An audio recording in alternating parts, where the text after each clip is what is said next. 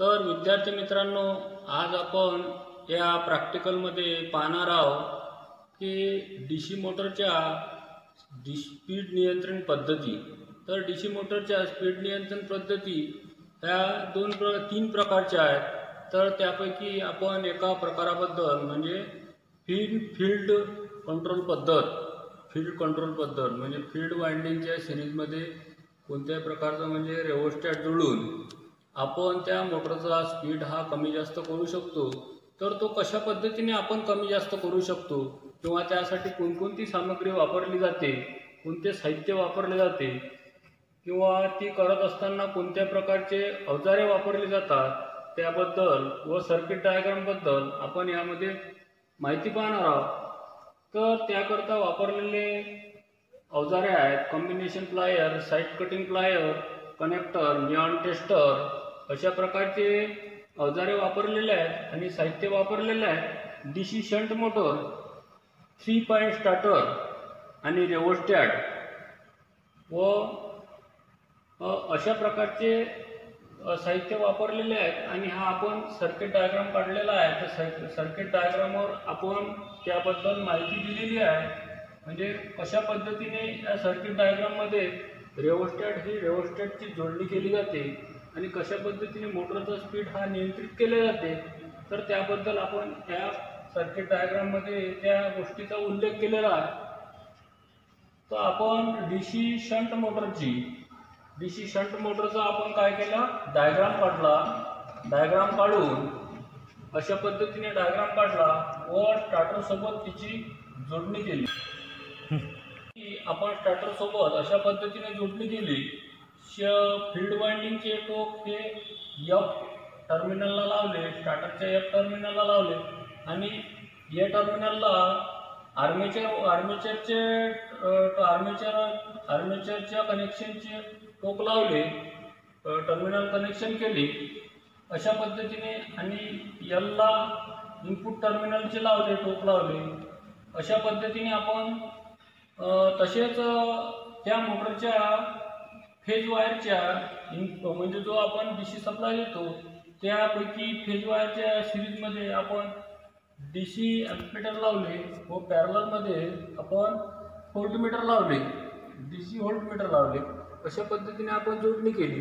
जोडणी केल्यानंतर त्या मोटरला आपण डी सी सप्लाय दिला असता. त्या मोटरला आपण डी सी सप्लाय दिला असता.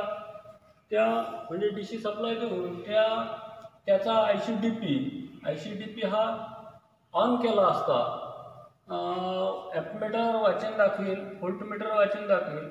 नंतर आपण स्टार्टर हे स्टार्टरचा आर्म हा आपण स्टार्ट पोझिशनला नेऊ. स्टार्ट पोझिशनला नेल्यानंतर एका पॉईंटवरून एका पॉईंटवरून दुसऱ्या पॉईंटवर दुसऱ्या पॉईंटवरून तिसऱ्या पॉईंटवर तिसऱ्या पॉईंटवरून चौथ्या पॉईंटवर चौथ्या पॉईंटवर नेल्यानंतर एन व्ही सीला तो आर्म चिटकेल.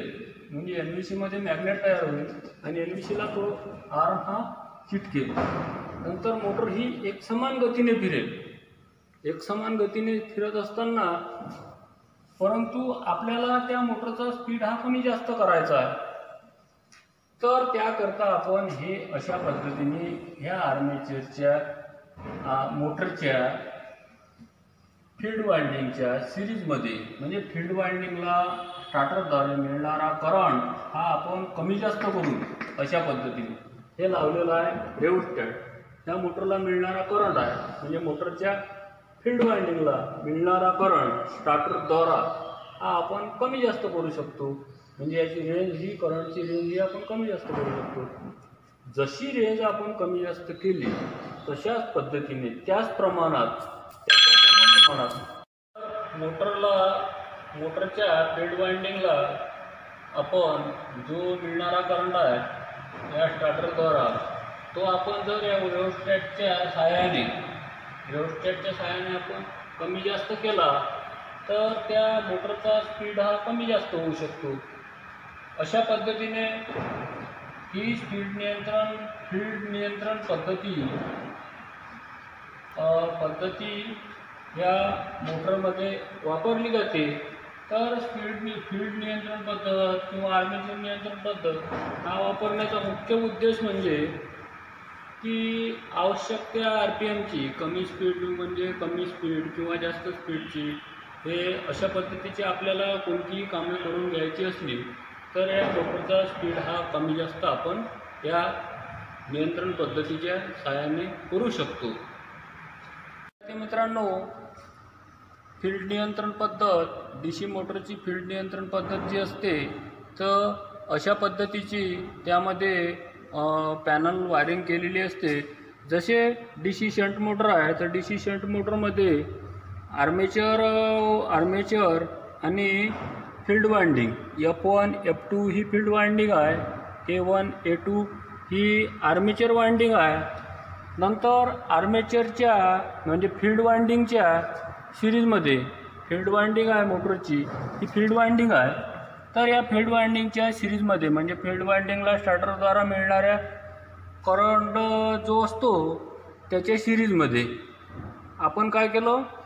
ते रेओस्टॅट जोडलो रेओस्टॅट जोडलो आणि रेओस्टॅट जोडून रेओस्टॅट जुळलो. व रिओस्टेट जोडून आपण त्या मोटरचा मिळणारा इनपुट करंट आपण स्विच चालू केलं असता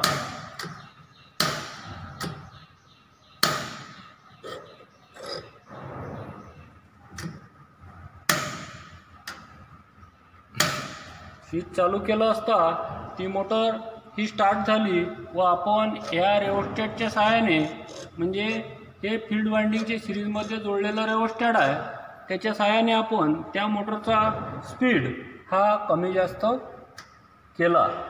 तर अशा पद्धतीने ही फीड नियंत्रण पद्धत डी सी शंट वापरली जाते. तर ती वापरण्याचा उद्देश म्हणजे या मोटरच्या सहाय्याने म्हणजे मोटर वापरून मोटरच्या सहाय्याने आपल्याला ज्या स्पीडची कामे करून घ्यायची असली जसे कमी स्पीडची कामे करून घ्यायची असली मिडियम स्पीडची कामे करून घ्यायची असली तर तर या पद्धतीचा उपयोग केला जातो.